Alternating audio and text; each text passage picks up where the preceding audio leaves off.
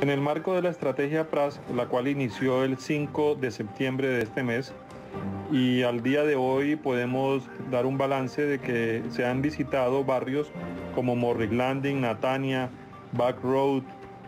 eh, Los Corales, San Luis y el día de hoy se hizo visita al barrio obrero.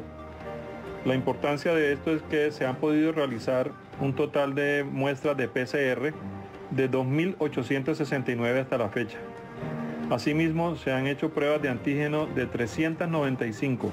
de los cuales 104 han resultado positivos. Personal de la Secretaría de Salud con la coordinación de expertos del Instituto Nacional de Salud con el apoyo de la Secretaría de Gobierno y la Policía Nacional han realizado pruebas de rastreo en los siete sectores antes mencionados logrando descubrir posibles casos positivos para COVID-19 a tiempo y realizar el aislamiento de los ciudadanos, la atención médica inmediata y el cerco alrededor de los mismos de manera efectiva. Esta estrategia ha servido muchísimo en la medida en que hemos podido identificar los casos positivos y tratar de pues, haciendo el aislamiento respectivo para las personas que resulten eh, contagiadas. Es importante hacer, eh, darle claridad a la comunidad de que la estrategia busca identificar a estas personas que pueden ser fuentes de contagio, pero que en manos de todos está